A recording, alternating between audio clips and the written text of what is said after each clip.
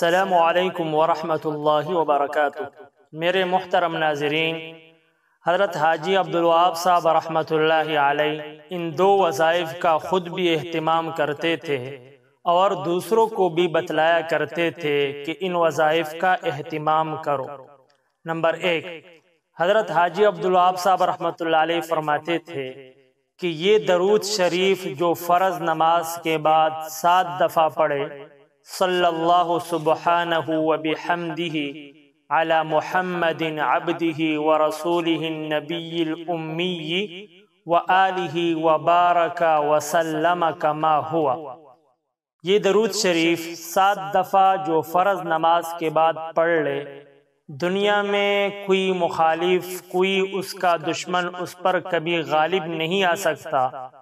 خواہ وہ مخالف دشمن انسان ہو جنات ہو، سانپ ہو بچو ہو حشرات الارض ہو، کیڑے مکوڑے ہو، یا یہ ڈرانے والا وائرس ہو، جس نے ساری دنیا کو اپنی لپیٹ میں لیا ہوا ہے، دنیا کی کوئی چیز اس پر غالب نہیں آ سکتی، یہ ہر چیز پر غالب رہے گا۔ نمبر دو، حضرت حاجی عبدالواب صاحب رحمت اللہ علیہ یہ درود شریف بھی بتلایا کرتے تھے کہ جو روزانہ یہ درود شریف پانچ سو دفعہ پڑھ لے، صلی اللہ علیہ سیدنا و آلہ وسلم، دنیا اور آخرت میں کبھی کسی کا محتاج نہیں ہوگا، نہ کسی دوائی کا، نہ کسی ڈاکٹر طبیب کا۔ یہ ایسا رہے گا کہ ہر وقت اللہ تعالیٰ اس کو خوش و خرم رکھیں گے، اللہ تعالیٰ اس کو کسی کا محتاج نہیں بنائیں گے۔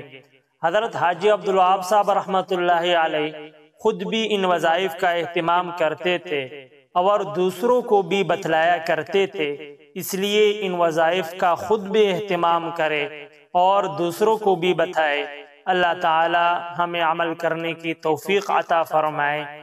آمین۔